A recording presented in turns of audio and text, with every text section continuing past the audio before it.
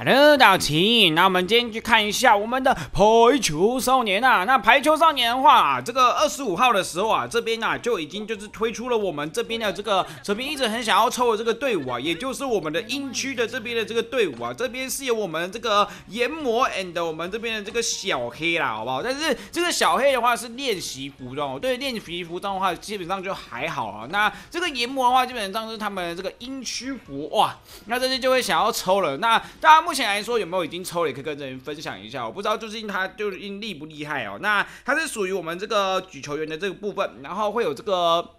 被动技能是神之观察力，而这个孤爪研磨在场时，我方的前的这个前员球员接球的威力增加，增加值为该球员接球属性的这个八 percent。然后孤爪研磨传球，我方接球皆为这个，我靠！哇，因为传球，我方接球结果为哦哦，我还以为说接尾哦，吓死我了。这个 perfect 的话，获得一层这个不让球落地的 buff，每层不让球落地的话，buff 使我方场上的球员接球属性增加三 percent，啊，这边有最多六层，这好像还不错耶，这个。对啊，然后里面的话基本上它是有这个它的这个等级的，那我们应该是只会抽一只啊。哎，这只举球员会想要抽，因为目前来说我们的这个举球员的话好像比较没有，因为我们主要来说是阿月嘛，阿月基本上拦截，然后大地爸爸是后排的，然后那个其他只的话基本上都算是比较那个，阿龙也算是那个比较后排的这个小输出，然后这个接球员的话原本是呃那个什么，就是影山的，当然大家说影山有很多可以就是那个替换的，所以就还好。不过因为如果我们现在抽研磨的话，我们原本的这个乌野队好像就会就是变成就是没办法就是凑齐的这样子哦，然后这边是另外的被动是安定感传球，孤爪研磨进行一次威力为一百二十 percent 的这个传球属性的传球哦，然后这边心脏的话呢是那怎么解锁啊，这个我不知道哎。结果修改哦，L B One 的话呢，这个耶古瓦有没有在场时，我帮球员接球威力增加，增加值为该球员接球属性的六 percent，不让球落地 buff 大于六成时，我帮全全员的这个接球的威力增加，增加值为这个该球员属性的这个一百五十 percent，我帮球员救球的这个威力增加，增加值为这个球救球呃救球属性的一百五十 percent，我帮属性接球救球失分时消耗六成这个不让球落地 buff，呃将结果修改为哈。我靠！哎，这只很沉哎，它就是完全这个 buff，就是我们是整队的这个接球跟传球跟这些的，好猛哦！这只会想要抽抽看啊。然后再是这个炸欺性进攻 L B One，这个孤短研磨进行一次威力为两百二十 percent 的这个传球属性的二次进攻，而且不能被拦网哦。哎，可以耶，我觉得。但是我好像还想要想要问大家意见嘛，哦，就是先问大家要不要抽，还有十七十一天的时间。那这个小黑的话呢，看一下。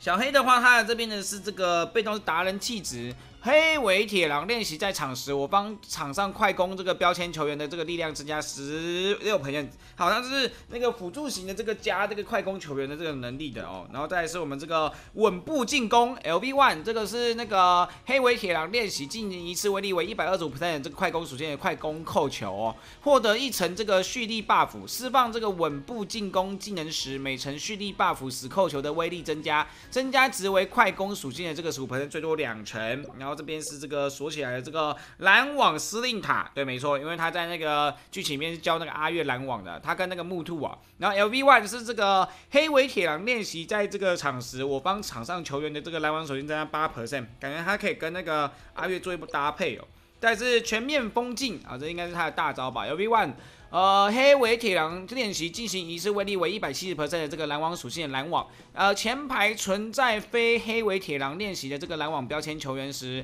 这次拦网的威力增加，增加值为拦网属性十五 percent。我感觉这次好像也是很重要的角色诶，不过不知道会不会吃到吃到位置。先看一下他 MB 是谁啊？他的 MB 的话呢，看一下 MB 啊，不行诶。他会跟那个月岛吃在一起，然后哇，他还会跟日向练习吃在一起。但是如果抽他的话，就是把他跟那个日向练习换，然后举球员这边妈妈就换那个换我们的那个谁啊，换我们这个研磨。然后这一次还有这个就是乌鸦的这个 VS 猫的这个有没有？就是乐色场决战啊，各位，这个宿命的对决。没想到这边直接被做来这个开局第一个大活动，这有点像是我们之前打那个冠军赛的这个东西哦。我应该是挑战谁啊？他好像是那个两边都可以挑战，是不是？对啊，还是要选一边的。那我我如果挑战，我如果挑战这边的话是怎么样？我们是用这个，我应该是如果我是想要当阴区的话，我应该是打那个，还是其实两边都可以打，不知道哎。然后进化的部分的话，就是它里面会叠加一些东西，然后让你去打。然后监督跟教练的话，这边是宿命的对决。哦，这边感觉好像就是蛮多不一样的这东西啊。我应该是去打乌野吧。我们这边新是阴区的。其实我自己在看热色场之战的时候，我是有被那个小黑跟炎魔的那个他们小时候的感情打动。我说哦，我真的觉得。原本就是觉得小黑还好，但是后来看了这个电影之后，哇，更就是比较喜欢这个小黑了。我一直蛮喜欢就是木兔跟那个木兔跟那个黑尾的，对吧？就看了之后，哇，真的是超赞的。因为是那个小黑让那个炎魔来打排球，然后最后炎魔觉得打排球，我是不是在爆雷啊？然后炎炎魔打排球，他觉得很开心，那大家都很开心，这样子还算不错。然后我是带我爸去看的，然后我爸是觉得就是他比较喜欢那个阿月啊，因为阿月一开始也是就是对排球比较反感，结果他在这个剧场版的时候就变得就是哇比较比较喜欢了。好，那边是一个一比一，哎，乌野高中。但我现在比较尴尬的是，因为我现在呢就是整队基本上都是乌野的，然后我们有三个这个穿球呃四个穿球衣的，其实在努力用两个穿球衣，我们的乌野队就是满满的这个球衣队了，我觉得还算不错。但我我自己个人的话。我应该也是蛮比较喜欢那个啦，我比较喜欢那个那个什么阴区队，因为我觉得他们那一队的那个校性跟我这边比较比较比较适合，因为他是打那种就是比较榜首系的那个排球，就是他们那一队都会慢慢的就是先抓你的这个弱点，然后慢慢的把你就是那个摸透你之后，再慢慢给把你给狙杀这样子。然后乌野这边的话是比较算是就是疯狂打那种就是强攻进攻的，对吧？我觉得两队都很好哎，其实我觉得排球少年说真的。它是一一款，就是呃，诶，它是一部，就是蛮蛮多角色你都会很喜欢的，但是最好是那个啦，希望有那个木兔啦，拜托，最喜欢黑黑黑了，好不好？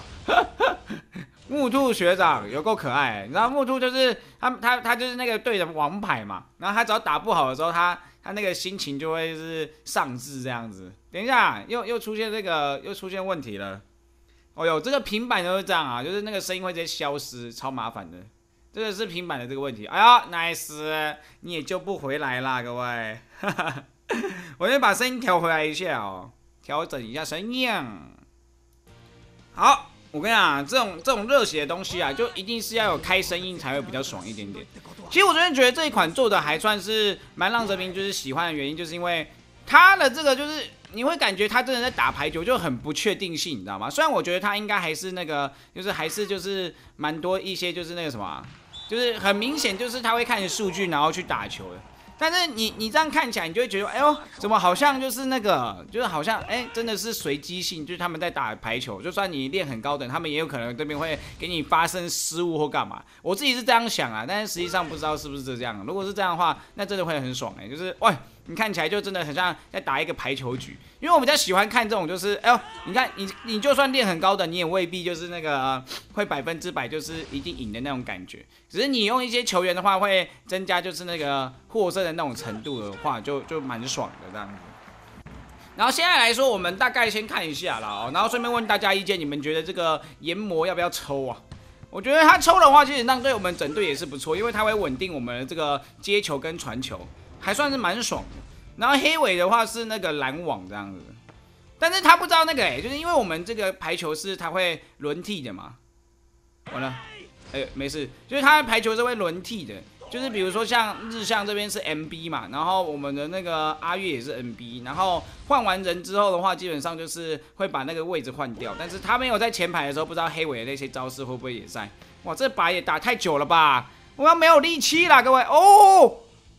大地爸爸，哇，一个救！哎，这才这个活动的第一关呢，其实没有很好打耶，各位。好，没关系，这个我们再慢慢努力打起来哦。好，那今天主要来说就是我们这边啊，二十五号的时候其实就出了，不过最近因为太多游戏，所以没有就是先拍给大家看。然后这边想要问大家就是，哎呀，你们觉得这个研磨呀要不要抽呀？还是其实你们最推荐的是这个黑尾，可以跟人分享一下哦，好不好？那今天的话呢，我们大家就先介绍到这边了。然后我的这个声音又没了，哇，这个是有点小尴尬了，各位。